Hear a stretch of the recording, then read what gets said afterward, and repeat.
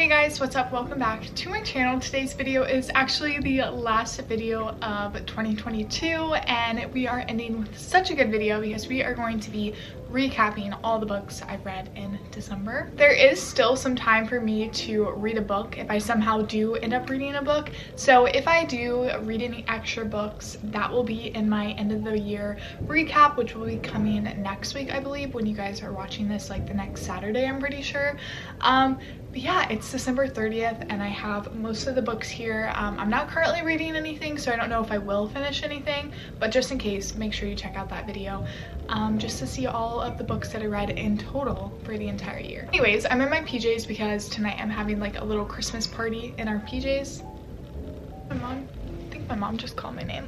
Anyways, we are going to be talking about all the books I read, like I've said several times. I don't really remember how I ended it because my mom called my name. So yeah, I have 8, 18 books for this month. So I feel like I had a pretty good reading month. A lot of these are Christmassy books. So I will just go ahead and start with those. First Christmas book I have is All I Want for Christmas by Maggie Knox. This is my second novel that I've read from this author. I believe I rated this one three stars. I do have a reading vlog. A lot of these Christmassy books, I've read Christmas books for 24 hours. So if you're wanting to see like a more in-depth like review and things like that, I would suggest that. Or you can just watch it to watch maybe reading this book. But yeah, I think I rated it three stars. It was good, but again, like not the best thing. I think I realized this year that Christmas books are really fun to read, but they're not like great literature. Solely read them just for the enjoyment of reading a novel set around the Christmas time. It's kind of fun. Um, so I don't expect anything like fantastic. So three stars for this is like not a bad rating for like a christmassy novel because they're all basically the same thing. That's the thing you have to like recognize when you're reading a christmas novel but anyways enough about my tangent. This is yeah all i want for christmas. I think i really enjoyed this one because i like the setting of it a little bit because it was like nashville and you had two singers and i just like that trope a lot. It was really cute. Have just like magic by sarah hogle. Again this is the second novel i've read from this author. My first christmas novel though from this one and i rated it three stars as well.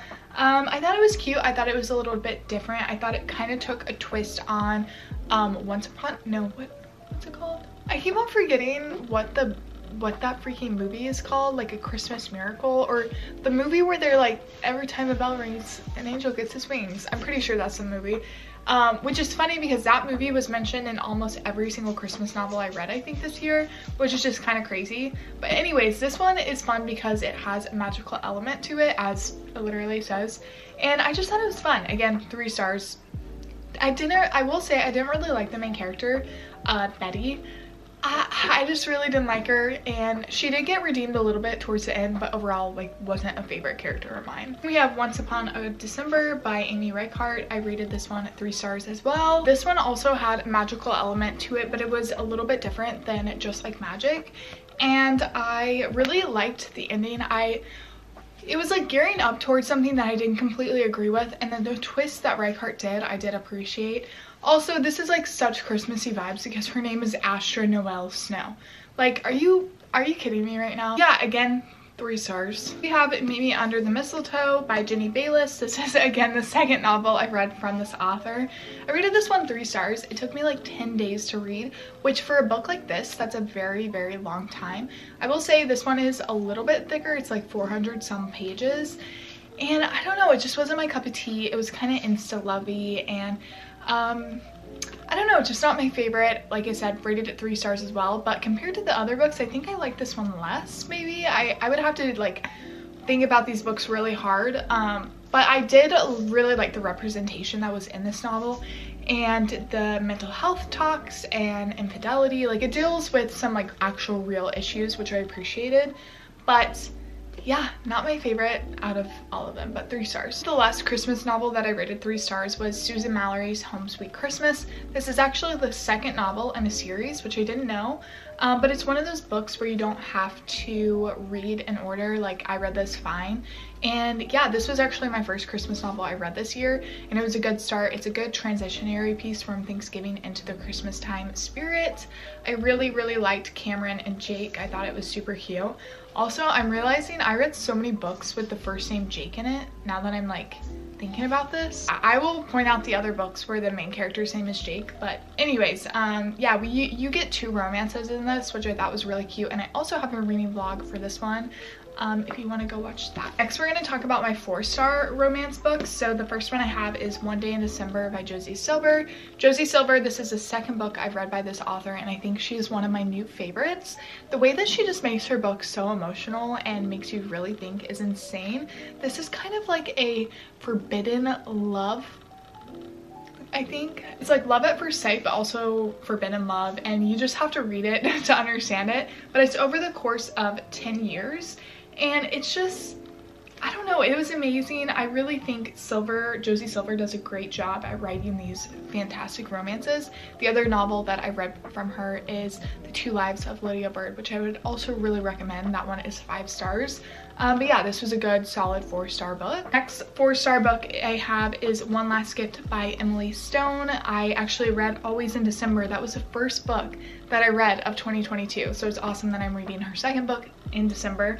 Um, but this one was great. She's another one where this this was more emotional and I honestly think that's why One Day in December and One Last Gift got that extra star compared to my other Christmas romances because I just thought it was good because you learn something other than just like a cutesy romance. Like it actually is discussing something crazy such as grief in this one. And yeah, I would 100% recommend it. It's a really good one. Very sweet, I loved it. His name is Jack. I know that's not Jake, but we did have another book with the first name Jack. So we have two books with Jack and I think three books with Jake. So I don't know, man. Something's happening. But anyways, those are my four-star um, Christmas books. I still have another four-star um, book. I almost forgot about it. It's Lovelight Farms, which I thought was super cute. I listened to it on audiobook, which I think if I had the physical copy, it would have been rated five stars. But this one was exactly what I wanted for like a friends to lover, fake dating situation, small town romance. I thought it was super cute. And I can't remember what his name is because now I'm on the same thing and I'm like, what was his name? Luca. So it doesn't matter. But anyways, I'm really wanting to continue on with the series. I think I want to own Lovelight Farms because it was such a good book. But that was my last four-star Christmas romance. And then my only five-star romance that I read Christmas themed was A Very Merry Bromance. This is the newest installment in the Bromance Book Club. And this is actually the only the second book I read where you don't really have to read it in order. But oh my gosh, I'm going to be continuing the rest of the series because it is so good. I don't know what it is, but the whole trope of like a guy falling for the girl first or falling for the girl harder or like trying to get her trying to get her back. Just uh, it just i love it so much. And so i rated this five stars. I think i read it in i think i read it in like one sitting. It was so good. Pick up the bromance book club series all of it next year. Like put that on the top of your TBR because it's so good. At least in my opinion, I love it so much. I think that is all of our Christmassy books. I actually read a lot of Christmas books. So now I'm going to talk about the books that I'm actually going to talk about the ones that I don't physically have. That way I don't forget. But I did read Below Zero by Ali Hazelwood. I rated this five stars. Ali Hazelwood is a genius in my mind. I love it. I know it's like not the best writing or the best themes and it's kind of repetitive, but I love it and I'm not gonna lie. I, I'm obsessed with it, okay? So I would read it. This is the last published work that Hazelwood has, I'm pretty sure. So I've read everything she has as of right now. So this was actually my first book that I read in December and again, read it in one sitting. So good, would would 100% recommend. And then I actually read another novella and this one was another five stars. And then every morning the way home gets longer and longer and that is by Fredrik Backman. This was my first Backman piece and I've heard so many great things about him. I think the next novel I want to read by him is either Anxious People or the the, the man named Ove, something like that. But oh my gosh, it just made, made you reflect and think and it was like 50 pages on an ebook and I was like, this is fantastic. How does he create such like a powerful message within like less than 100 pages? Insane, would 100% recommend it. If you guys really fast need any books to like check off your Goodreads reading goal, read that. I had two books on my TBR from November that I really wanted to read and that was the video where my friends controlled what I read for a week and so I had The Last Night in London by Karen White. My neighbor Christy actually lent me this book so glad to get this back to her finally. Um, but yeah, I rated this one four stars. It was really cool. I like the historical romance. The twist was shocking. I do think, or maybe this was actually three stars, not four stars. I rated it three stars and I do think part of that is because I listened to it on audiobook and I think if I would have physically read this, it would have been better. Typically that doesn't happen. I know that happened twice this month where I listened to the audiobook of a book and I think it took it down one star. Usually when I read audiobooks, that doesn't really impact the reading experience, but I just think for these, the two particular books books that I listened to this month. I think they were meant to be like, you need to read it on print because there's a lot going on. Um, but yeah, again, rated three stars. That is really cute. I love books set in London or the UK, so very fun. And the second book that I wanted to finish um, from that video was Build Your House Around My Body. This is a Vietnamese horror magical realism literature book that my friend Ashley actually gifted to me when we were in the UK and yeah, I rated it three stars. This was a pretty good book. I will say it was a little confusing, but I thought it was so good and I feel like I learned a lot throughout it. And yeah, rated it, like I said, three stars. And if you're looking for a Vietnamese story, pick this one up. Next is actually funny because I I actually just posted a video, I think the video before this one it was uploaded, about unwrapping my January TBR. And once I finished the the last night in London, I was like, I have no more books to read. I want to read like my physical TBR. So I just started reading the books for my January TBR. I actually read four out of the six.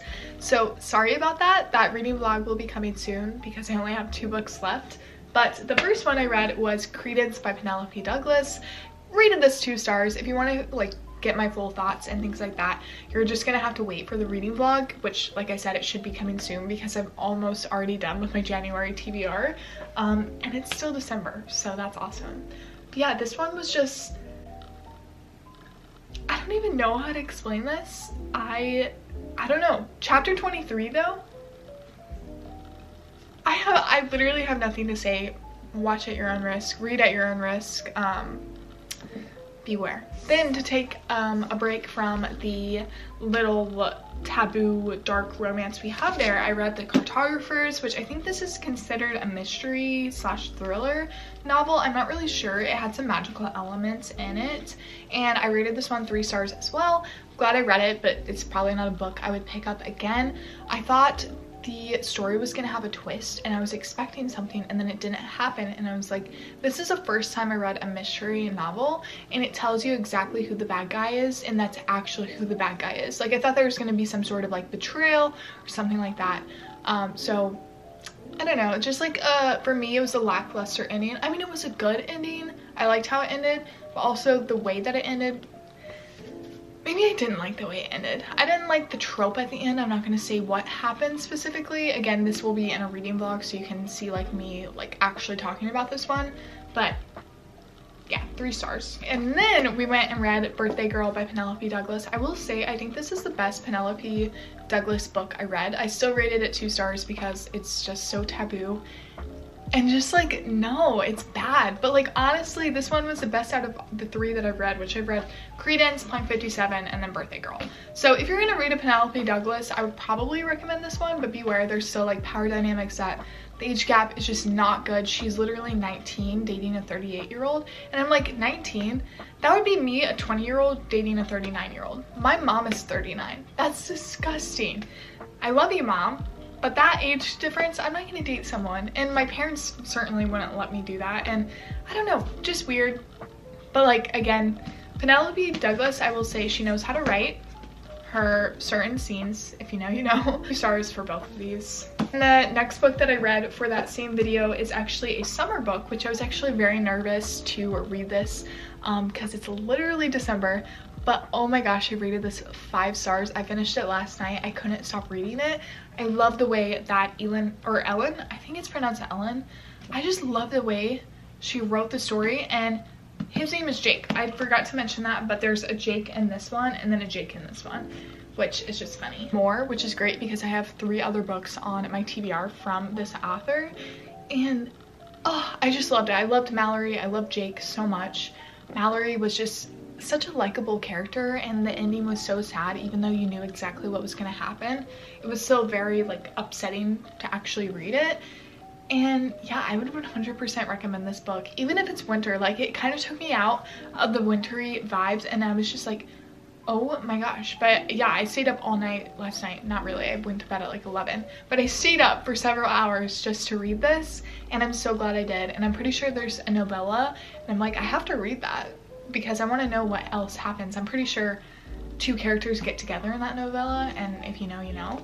But yeah, if if you're gonna read a book out of the four of these, which I will again talk about this in my reading vlog, read 28 Summers. It's it's so freaking good. The only complaint I have is that it's written in third person. Not that much of a fan of that type of writing style, but also it's so good. That is all of the books that I read besides one. I'm actually still currently reading it and I am going to include it in this wrap up because it is a book that I've been reading literally all year long and that is Savor um, Living Abundantly Where You Are As You Are. It is a devotional. I've read it every single morning and yeah i'm reading it five stars. I'm it's kind of hard to rate a devotional anything less than five stars unless you really hate it. It's hard because some of the devotions were like for mothers or wives and i was like i'm neither of those things but i will continue reading it. And yeah i just really appreciated it. This one is called savor because she also includes recipes. So if you guys are looking for a devotion um here you go. But yeah five stars. Love it. I'll finish this tomorrow morning and that's the last book of 2022 yeah again like i said i might read another book in the two days that we have left of 2022 i'm not sure. So if you just want to be extra careful if i do you should go ahead and subscribe so you can watch my 2022 book wrap up i actually have part one up already on my channel if you want to watch that it was done in july i'm pretty sure so it should have the first year or the first half of the year's book recap in that but yeah that's gonna be the end thank you guys so much for following me or for watching this. I am at 850-ish subscribers and I'm just so excited. My goal for 2023 is to hit 1,000 subscribers. So fingers crossed for that. I'm very excited and so grateful for what an amazing year we've had. Um, yeah, and I will talk to you guys next time. Peace and love. Bye guys.